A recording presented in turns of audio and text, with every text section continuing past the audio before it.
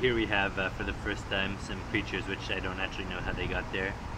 Uh, that's those blue circles with the purple uh, circles around them. I'm not sure uh, how they evolved.